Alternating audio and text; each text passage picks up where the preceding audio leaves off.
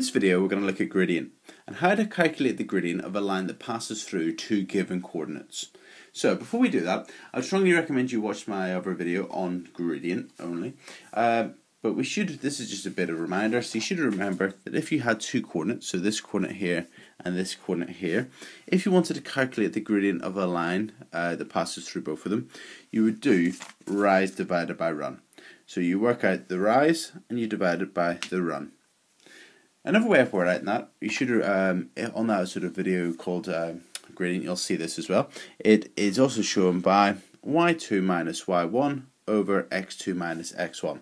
This represents the rise, okay, the change in heights, y1 minus y2 gives you the rise, uh, divided by x2 minus x1 gives you the run. So you can work it out using rise divided by run, or you can use y2 minus y1 over x2 minus x1, where x1, y1 is the first coordinate and y2 or x2, y2 is the second coordinate. Um, yeah. First question we're going to look at it says work out the gradient of the line passing through 1, 2 and 3, 6. So what I'm going to do is I'm just going to have uh, use a coordinate grid to start off with. Um, I'm just going to use this to sort of emphasize the method, how and what we're going to do, and then we'll do the rest of the examples without having the coordinate grid. So the coordinates were 1, 2, so 1, 2, and 3, 6. We've been asked to find the gradient of the line that passes through those, so to work out the gradient of the line that passes through these two points. So remember, we could use rise divided by run. So if we were to use rise divided by run, you would draw a little triangle like so, right angle triangle. The rise is 1, 2, 3, 4. The run is 1, 2. And you do the rise 4 divided by the run 2. And 4 divided by 2 is 2. So the gradient of the line is 2. So that's one way to do it. The alternative method is to use m equals y2 minus y1 over x2 minus x1. So to use that, the first thing I would do is to look at your two coordinates, see which one comes first. So uh, 1, 2, well that would be before 3, 6, so it's further to the left, and label them. So x1, y1, x2, y2.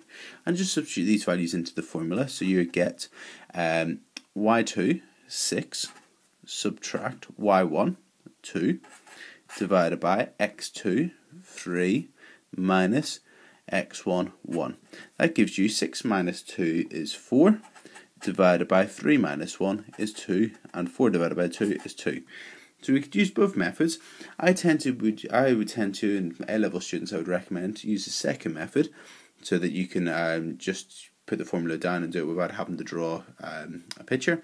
Alternatively, you can just do a sketch if you want to, particularly GCSE level if you find that helps. Okay, so we're going to work out the gradient of the line that passes through 0, minus 2 and 4, 4. And this time I'm going to do it without using a sketch. So this one is further to the left, uh, so we can label it x1, y1. And this one then comes next, so x2, y2. And the gradient, m, remember m stands for the gradient, is y2 minus y1 over x2 minus x1. So let's just substitute them in. So m equals y2, well y2 is 4, minus y1, well y1's minus 2, so that's going to be minus minus 2, divided by x2, 4, minus x1, which is 0.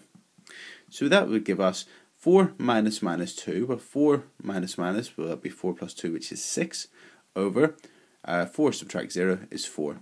And then 6 divided by 4, well that's going to be equal to 1.5. Remember, you can just half it and half it again, 1.5. Finally, work out the gradient of the line passing through 3, 5 and 0, minus 4. So this one's further to the left, so label it x1, y1, x2, y2. Actually, I am saying label this one x1, y1 because it's further to the left. Because you substitute them into the formula, it doesn't actually matter which way around you label them. Um, I just like to make it um, sort of make sense in terms of rise over run, um, but you can label it um, either way around if you wish. So m equals y2 minus y1 over x2 minus x1. So let's substitute the values in. So we're going to get y2, well y2 is minus 4, minus y1, which is minus 5, divided by uh, x2, so x2 is 0, minus minus 3. Just making sure that you're putting the signs in the right place. So it was y2, which is minus 4, I've put that in brackets, subtract 5, over 0, subtract minus 3.